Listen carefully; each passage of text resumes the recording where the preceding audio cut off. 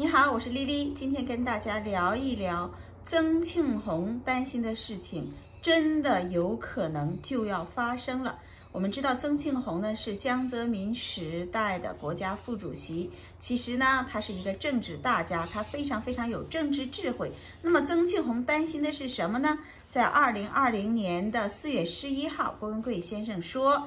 曾庆红曾经说：“中国面临的最大问题就是粮食问题，只要老百姓不饿肚子，他就不造反。这个粮荒的到来会造成巨大的社会动荡，也就是说明曾庆红担心的粮荒问题。然后呢，这个问题有可能就要发生了。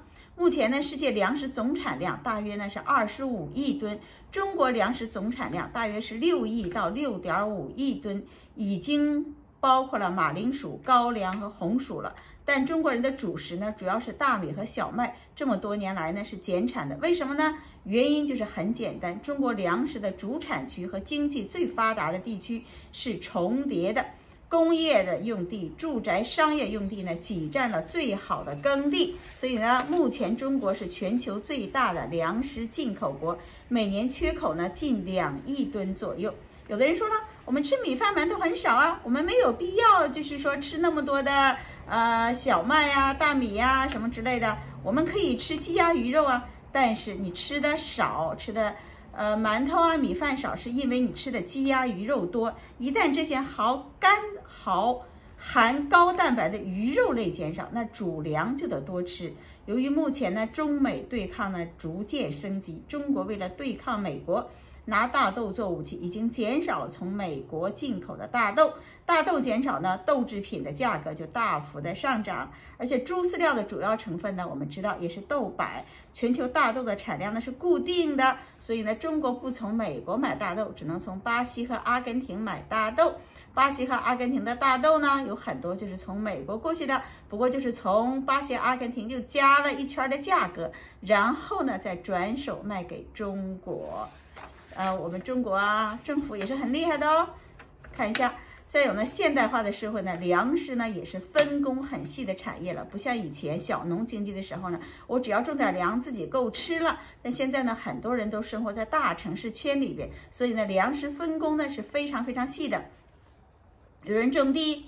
有人去收购粮食，有人要加工，有人要运输，有人要销售，其中的环节是非常非常多的。任何一个环节出现问题、被破坏呢，后果都是非常严重的。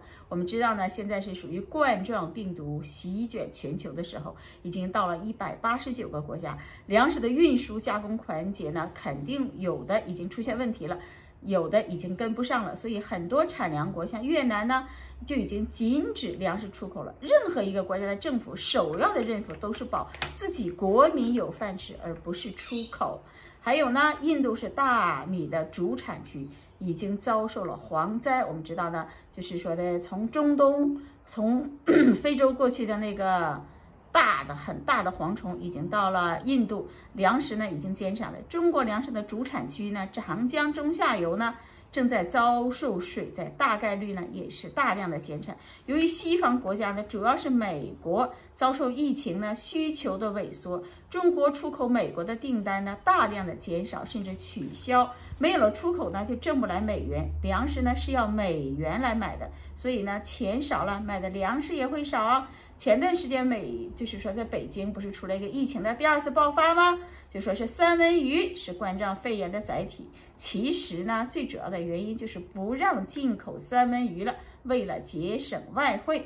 但大陆呢，一向就是说的不会告诉老百姓真相，一向就是用撒谎，用别的这个原因说过去。所以呢，就是告诉老百姓说三文鱼导致了北京疫情的爆发。其实呢，就是不让再买进口的。三文鱼了。我们知道，中国最近十几年来呢，种粮的每亩地呢，其实只够个人工的钱，就是一亩地大概就赚个几百块钱，就是人工的钱。所以呢，大部的大部分的青壮年的劳动力呢，都出去打工了，只有七十岁以上的老人还在种地。这样的话呢，就是很多的土地都已经抛荒了。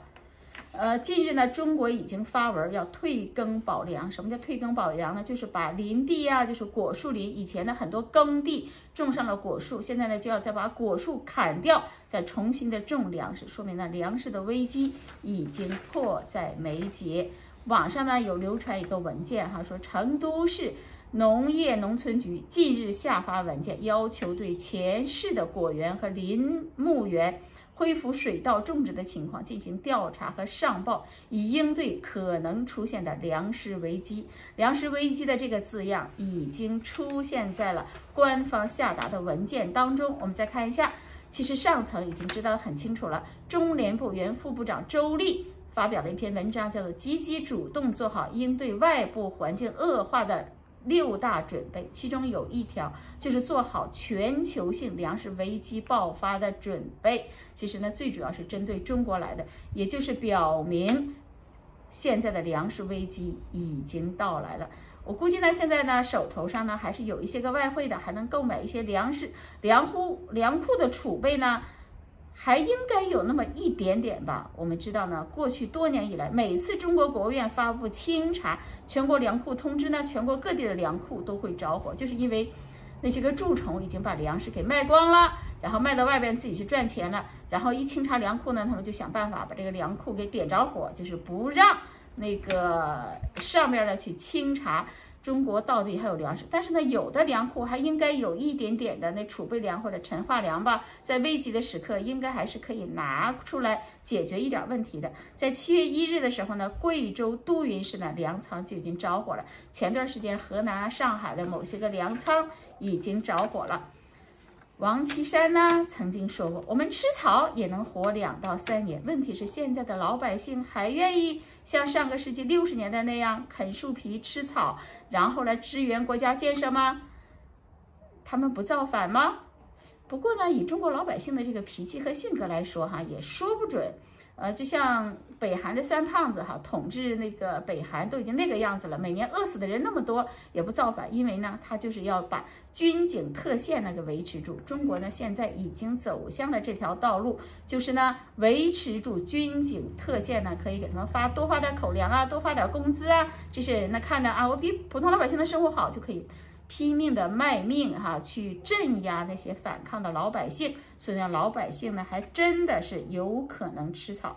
现在呢，国内的粮价呢上涨的是非常非常的厉害，估计到明年的某些地方就有可能走回计划的经济时代了。就是说呢，以前在上个世纪八九十年代，老百姓手里有什么要粮票、地方粮票、全国粮票、买肉票、买豆票。估计的话呢，就会重回老百姓的生活当中了。改革了三四十年，没有想到呢，在二零二零年或者二零二一年又要改回去了，重回计划经济的时代呢，真的有可能要来了。我们再看呢，还有一条哈，就是说的新闻，就是说我们知道呢，黑命贵的运动呢，就是在美国已经。就是延烧了大概两三个月了吧，某些个地方呢还有零零散散的一些个在游行示威，还在爆发。呃，西雅图那边呢都已经建立了自治区，还有的地方的话呢，就是西雅图呢有个十九岁的那个男子被枪杀，还有呢亚特兰大的一个小女孩也在那骚乱当中呢，就是死掉了，真的是很悲哀的一件事情。这现在的话呢，还没有个尽头，有些呢还在持续下去。川普呢已经下令，把那些个雕像推倒的那些人呢，要让他们入狱，抓起来呢抓捕，然后让他们去判刑，就是在监狱里待十年吧。但是呢，由民主党这个在后面支持的这些个黑命贵的运动呢。呃，其实呢是受民主党指使的，主要是拜登指使的，就是为了拉那种政治现金吧。很多呢资金其实已经进入到了拜登的账户。在这里面呢，我们看一条消息哈，在七月六号，亚特兰大呢，我们知道哈，在民主党也是民主党控制的城市，也是黑命贵游行声势非常浩大和骚乱比较厉害的城市。然后的话呢，就刚才已经说过了，那个小女孩呢，已经在亚特兰大呢死掉了，我们为她呢非常感到难过和悲哀，就是说 rest in peace 吧，但是呢，非常高兴的就是这个白左的市长，名字叫克沙，今天已经确诊为冠状病毒阳性了，真是老天开了眼。太好了，这就叫做什么？不作不死，天道好轮回。苍天饶过谁。好今天的节目就到这儿啦。好拜拜。